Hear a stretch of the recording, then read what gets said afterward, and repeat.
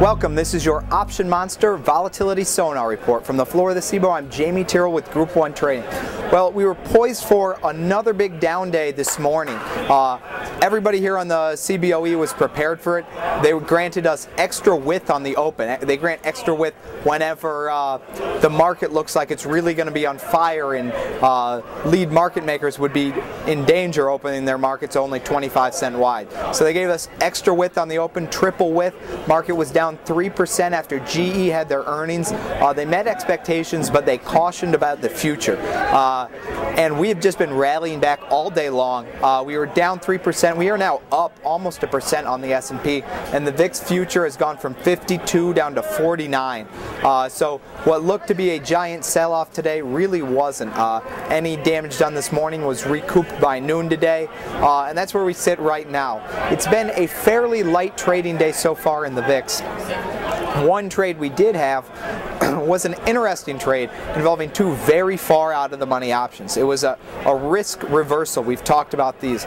You get uh, the customer was looking for some downside protection, namely the April 25 put.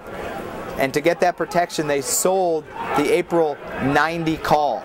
Now, uh, these are two very far apart options, 65 points apart.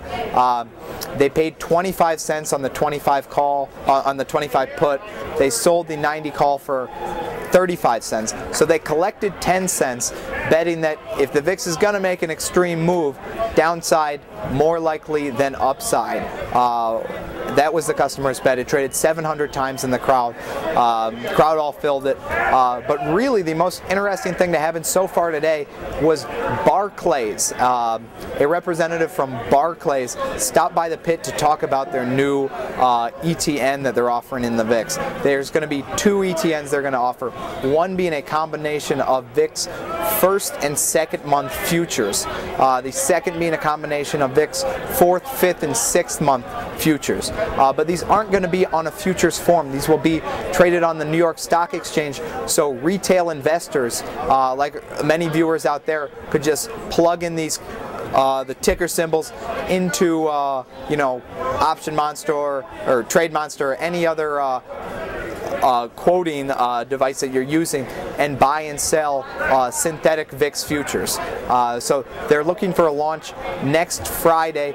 Tickers are not quite finalized yet. We'll have more on this next week, but this is a this is a move by Barclays to make the VIX future and VIX exposure more accessible to the retail community. Uh, Jamie Tyrrell, Option Monster. Check back for more.